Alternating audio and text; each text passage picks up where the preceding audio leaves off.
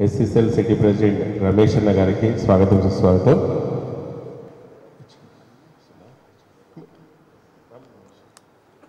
ఈనాడు journalist forum అధ్యక్షులు మునుగోడు ఎలక్షన్లో క్రియాశీలకంగా తిరుగుతున్న ముదినమ్మ చెండూరు ఎంపీపీ తెలంగాణ ఉద్యమంలో కేసీఆర్ ప్రతి విషయాన్ని కూడా కులంకషంగా చెప్పి ఉద్యమంలో కీలకంగా ఉన్నటువంటి పల్లె రవణని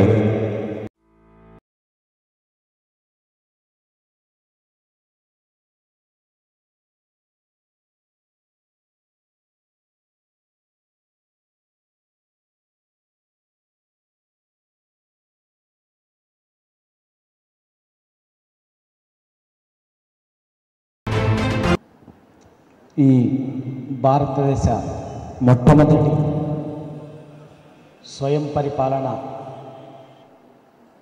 పతాక ఆత్మగౌరవ నినాదాన్ని మొట్టమొదటిగా గర్జించినటువంటి మహాయోధుడు సర్దార్ సర్వై పాపన్న గౌడ్ గారి జయంతి వేడుకల్ని నిర్వహిస్తున్నటువంటి తెలంగాణ గౌడ సంఘం ఈ కార్యక్రమానికి అధ్యక్షత వహిస్తున్నటువంటి గౌడ సంఘం అధ్యక్షులు కేసీఎన్ నాగరాజ్ గౌడ్ గారికి ఈ కార్యక్రమంలో పాల్గొంటున్నటువంటి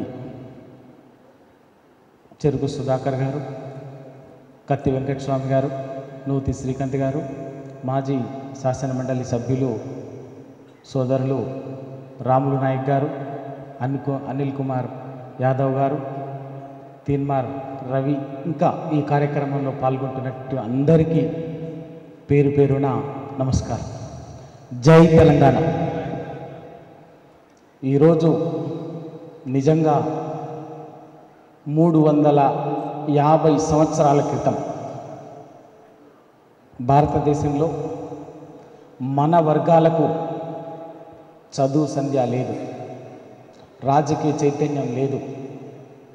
ఏమీ లేని రోజుల్లోనే అప్పటికి ఆధునిక భారతదేశంలో ఈ ప్రపంచంలోనే ప్రజలకు ఇంత చైతన్యం ఇచ్చి ఇంత ధైర్యాన్ని ఇచ్చినటువంటి రాజకీయ ఆర్థిక సిద్ధాంతాలు మార్క్సిజం లెనినిజం మావోయిజం ప్రజాస్వామ్యం ఇవన్నీ.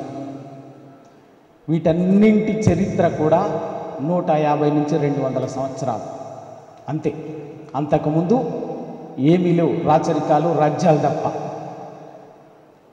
ప్రజలకు చైతన్యం లేదు. అటువంటి రోజుల్లోనే మన వర్గాల నుంచి వచ్చి మనం ఈ అనగారిన జాతులకు రాజ్యాధికారం ఒక్కటి పరిష్కారం అని చెప్పినటువంటి వాడు. ఆ రాజ్యాధికారంతో ఆత్మ గౌరవం వస్తుంది ఆర్థిక సంపద వస్తుంది సామాజిక చైతన్యం అన్ని ఆత్మ సాధికారమైనటువంటి జీవితం ఉంటుందని చెప్పేసి గర్జించి చాటి చెప్పినటువంటి వాడు సత్తవరా స్వయం సర్వైపాపన దాంట్లో గొప్ప ఆర్థిక సిద్ధాంతం ఉన్నది ప్రజాస్వామిక సిద్ధాంతం ఉన్నది సామాజిక సిద్ధాంతం ఉన్నది. కానీ వాళ్ళ ఎందుకో మనం దాన్ని అందిపుచ్చుకోలేకపోయినాం. దాని స్ఫూర్తిని కొనసాగించలేకపోయినాం. దాన్ని ఒక ఆయుధంగా మార్చలేకపోయినాం. ఆ చైతన్యాన్ని మన జాతులకు సంతరింప సంతరింపజేసి నూటికి తొంభై శాతం జనాభా ఉన్నటువంటి మనం ఇప్పటికీ ఈ దేశానికి రాజ్యాంగం వచ్చిన తర్వాత కూడా ప్రజాస్వామ్య ఫలాలు అందుకునే దగ్గర రాజ్యాంగ ఫలాలు అందుకునే దగ్గర బిచ్చగాళ్ళంగా మిగిలిపోయినమే తప్ప సాధికారికంగా మారలే. ఇప్పటికీ నిజంగా అందరం ఒక్కసారి గుండెల మీద చేసుకుంటే ఎక్కడ ఇక్కడ ఉన్నటువంటి వాళ్ళకి అవకాశం వచ్చినా రాజకీయంగా అవకాశ సందర్భం వచ్చినా కూడా ఏం మాట్లాడుతున్నారు? మీ దగ్గర డబ్బులు ఎంత ఉన్నది? యాభై కోట్లు పెడతారా? వంద కోట్లు పెడతారా? అక్కడే మనం ఆగిపోతున్నాం. మన చైతన్యం అంతా ఆఖరికి తిరిగి తిరిగి గిరిగిర తిరిగి ఎక్కడ ఆగిపోతుందంటే ఆ నోట్ల కట్టల దగ్గర సూట్ కేసుల దగ్గర ఆగిపోతుంది. దాన్ని ఇప్పటికీ అట్లాగే భరిద్దామా? దాన్ని ఇంకా మోద్దామా?